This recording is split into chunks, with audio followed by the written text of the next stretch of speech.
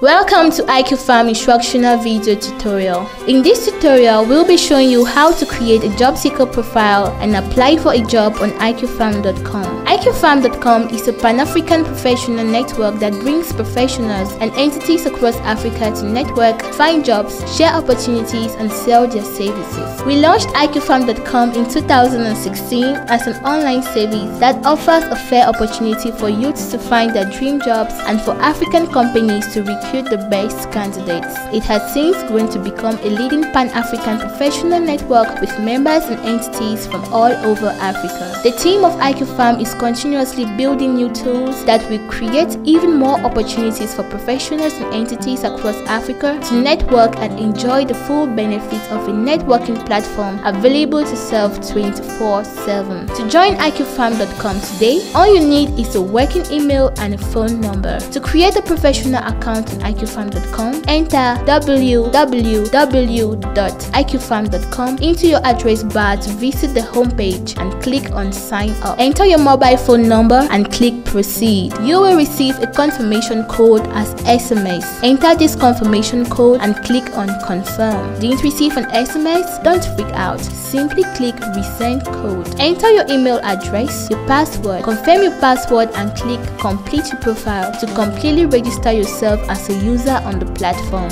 You will receive an email to a link to confirm your email address. Open your email and click on the link to confirm your email address. This will also activate your iCUBEFARM professional account. Click on the login link or go back to the homepage to log into your account. Enter your email address and password to log in. Now, you can complete your professional profile by uploading a professional photo of yourself and by completing all other required details in this professional profile form. Submit the form to be taken to your professional dashboard where you will see recent job opportunities and entities you can interact with. To log out of icubefarm.com, click on your user avatar and click the sign out button. Now that you have successfully signed up on the icubefarm.com platform, you will need a job seeker profile. A job seeker profile helps you to make yourself known to the recruiters. If you are serious about finding a great job, you have to create a reason why employers should contact you. Once you arrive at icubefarm.com, just click on this user avatar and select edit job profile. You should begin by uploading your CV by clicking on the upload CV. Browse your computer drive to locate your CV and once you find it, click it and click on open. You should fill the job seeker profile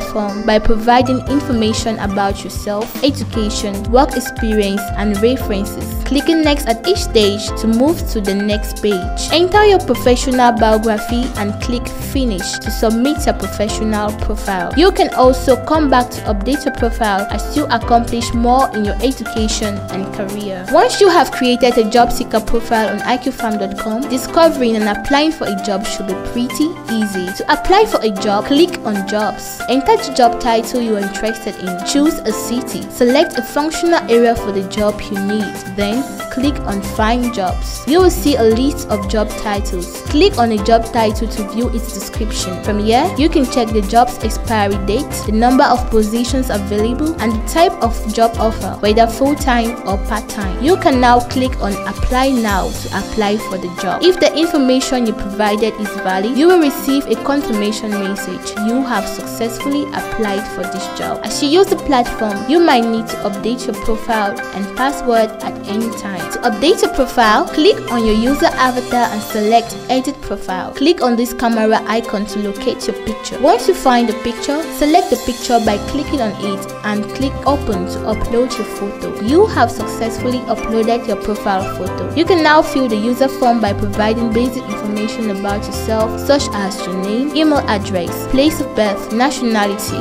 city, and language. Once you are sure the information is complete, click on submit. To change your password, click on your user avatar and select change password. Enter your new password. Confirm your new password by re-entering the same password. If both passwords match, you should see this tick here. If not, go back and make sure both passwords match. Then click on change password. You have successfully changed your icubefarm.com password. You can now log out of icubefarm.com and log in back to confirm your new password was saved successfully. As you continue browsing on the website, you might need to change your language. On iCUBEFARM.com, there are two ways you can change the language on the platform. The first method is to go to the top menu of the portal and click this language icon. You can switch between English, French or Spanish. Just click on your preferred language to switch to that language. You can completely change the language of your account which will also change the language of the emails and SMS you receive and for every other communication iCUBEFARM sends to you. To do this,